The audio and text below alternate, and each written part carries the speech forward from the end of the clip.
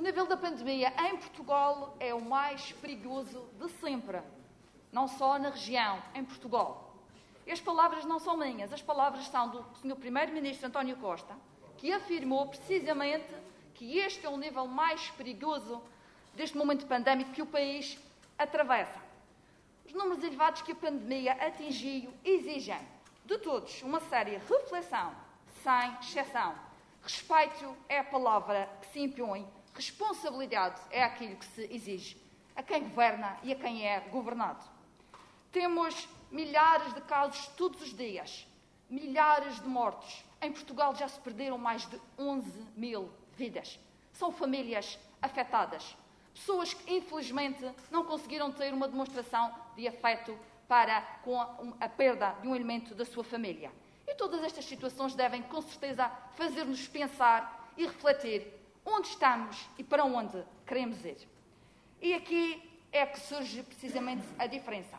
Podemos falar que a região, de facto, tem um aumento exponencial de casos, é verdade, mas não é uma realidade alheia a tudo aquilo que se tem passado no mundo. E aqui é que se exige seriedade a todos e a todas. E seriedade porque os profissionais de saúde que estão diariamente no terreno estão cansados. Trabalham da melhor forma que podem com aquilo que têm ao seu dispor. E aqui Sr. Secretário da Saúde, de facto, dirige na sua pessoa uma palavra de agradecimento a todos aqueles que diariamente prestam cuidados aos nossos doentes e àqueles que estão infectados com Covid e também àqueles que seguem as pessoas que estão em situação de vigilância. Temos, de verdade, uma janela de oportunidade agora que se instalou com a chegada da vacina Covid. Muito se tem dito, muito se tem falado em termos de uh, conspirações até internacionais, em termos de seguimentos de campanha de vacinação. E aqui também é importante esclarecermos a opinião pública em que ponto de situação de vacinação Covid a região se encontra quantas pessoas já foram vacinadas, os profissionais de saúde que de facto estão na linha da frente e que têm de ser vacinados e também todos aqueles que são pessoas ligadas a serviços essenciais que a sociedade precisa para que funcione minimamente. Aqui, Sr. Secretário, é importante eh, esclarecermos esta situação. E também é importante que o Sr. Presidente do Governo Regional esclareça e diga qual é que é a sua posição, por exemplo, relativamente a uma posição que tem sido manifestada nos últimos dias por alguns deputados do Parlamento Europeu relativamente ao controle de fronteiras, relativamente ao certificado internacional de vacinação, se realmente a nossa região vai exigir ou não, porque a saúde é importante, mas o motor económico da nossa uh, riqueza coletiva é o turismo. E aqui também precisamos de ser um destino seguro e um destino onde as pessoas queiram ver e se sintam seguras. Mas também a nossa população tem de estar segura. Muito obrigada.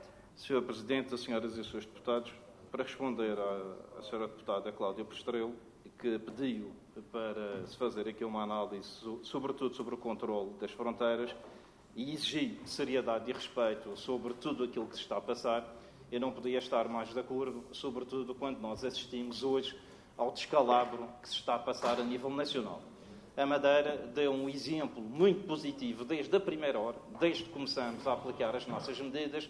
Já em março, quando ainda no continente diziam que o uso de máscaras que era prejudicial, que não havia necessidade de fazer o controle dos aeroportos e de fronteiras, que não era necessidade de proteger a população, já a Madeira, e muito bem, desde fins de janeiro de 2020, andava a estudar medidas e a proteger a população.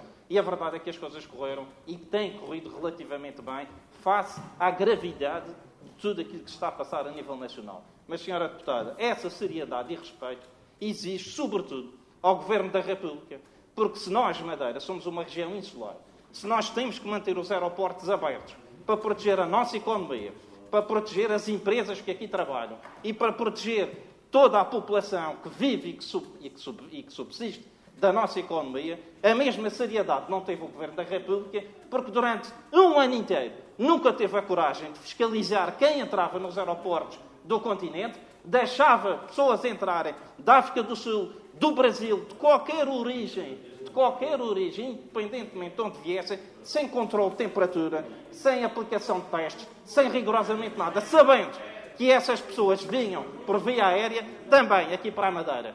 O senhor Presidente do Governo foi dos primeiros políticos, dos primeiros políticos, inclusivamente com a União Europeia, a exigir o controle na origem e não no destino. Sobre isto, nunca se viu uma única palavra do nosso Governo da República. Esta mesma seriedade e este mesmo respeito que se exige por todos os profissionais que estão a trabalhar e a lidar com a pandemia era o mesmo respeito e a seriedade que ao Governo da República deveria de ser exigido pela Madeira, pelos madeirenses e pelos portos santeiros. Muito obrigado.